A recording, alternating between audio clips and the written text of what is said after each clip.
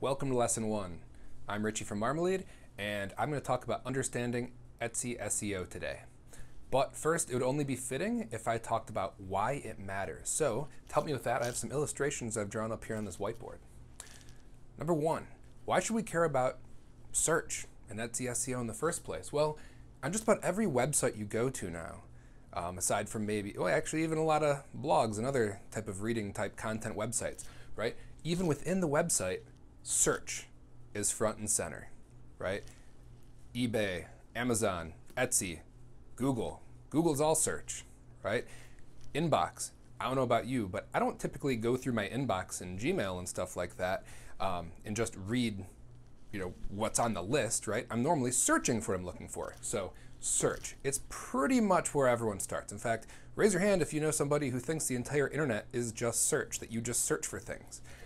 I know that at Marmalead, based on Google Analytics, that a lot of people type in Marmalead as the search and then click to get to marmalead.com. Okay, people do this with a lot of websites. I observe it, I see it. Uh, it's one of the ways we get there. Instead of just typing it in .com, we search there. Anyway, so that's why that's really important. Well, questions we get: What about social media and referrals? Yeah, that's important too. But when you're starting out, that's this little pie chart right here. When you're starting out, no one knows who you are. Uh, so you don't have a lot of people that can make referrals because you don't have a lot of sales. You don't have a lot of customers. And you need customers to have referrals.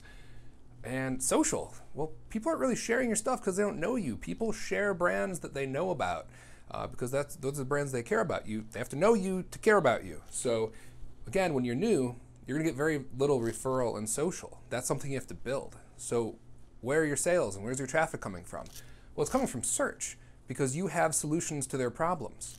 Uh, so search, huge. All right, but then a little bit later on, right, once you become more established, you can start building these up. You can start encouraging people to share on social media. You can start encouraging customers to send you referral customers. Search is still going to be huge. This is where you're getting all the new ones. But the point is that search helps feed these. So it's not an island over here that, you know, well, if you do this, you don't have to worry about those, or that I'm saying these aren't important. No, they all work together. All right, another thing I hear is what's the point of focusing on it? Etsy's constantly changing their algorithm. Algorithms are complicated and scary. Um, well, that's a good point. Fortunately, you don't have to worry about that. Um, you don't have to worry about weird looking code and stuff like that. Uh, Etsy will keep changing things, but guess what? They get paid when you make sales. So it's in their interest to bring you sales, to help customers find the best product. And it's really only, only your job not to understand how they come up with the ranking and everything. It's just to apply what you know about it uh, and do it better than the competition. In fact, there's a little parable I ran into years ago, and I'd like to share it with you, and it's about outrunning the competition. Um, here I have a super scruffy lion. This thing looks terrifying, as you can tell. Um, it's not your normal run-of-the-mill lion. This thing is, it's scruffy, right? You come across this thing, you know it's hungry. Here are two people.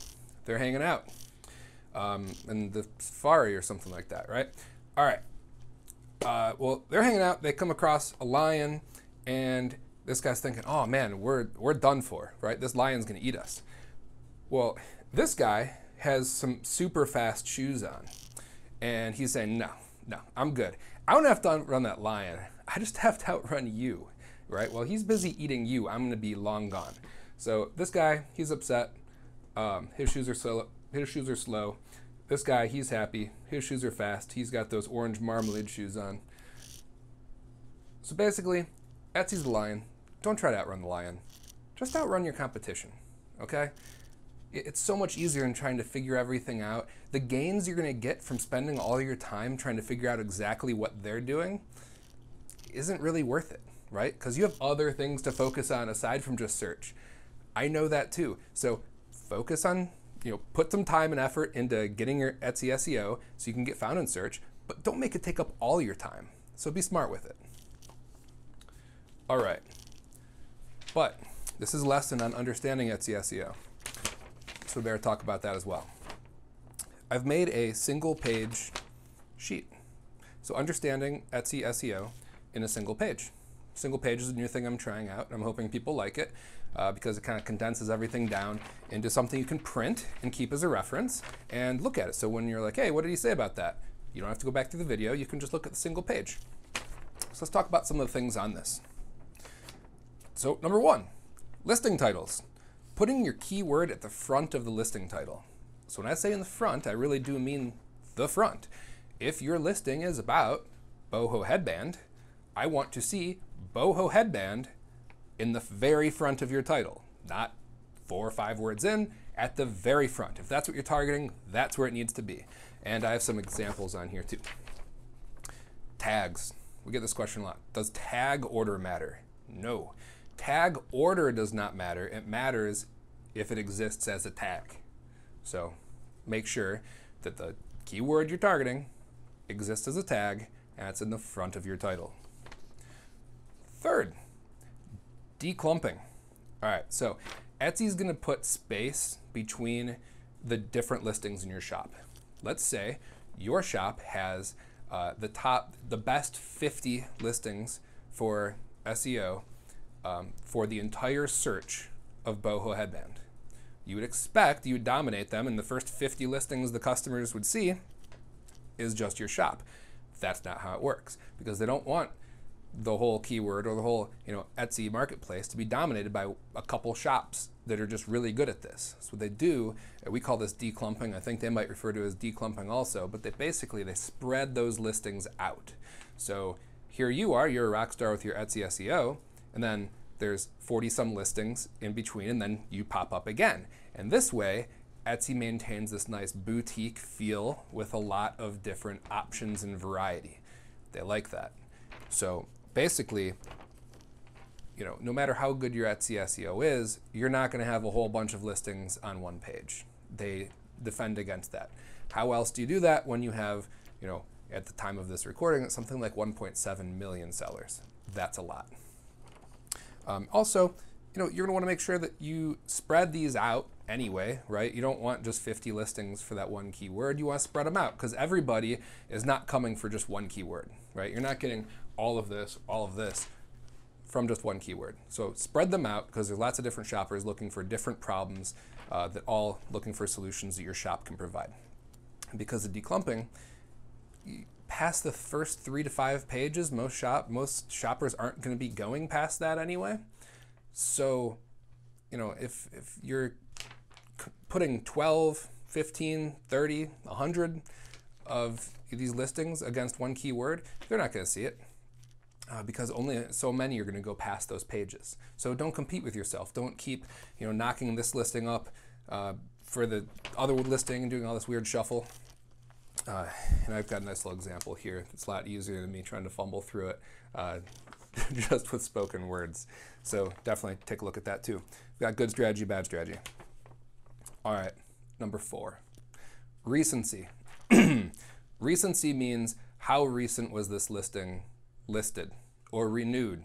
So if you sell it and renew it, if it's a brand new listing, if you listed it, hasn't sold, uh, but you can still hit that renew, that renew, the one that costs money. Yes. Okay. People are saying, oh, but it costs money. It, it does.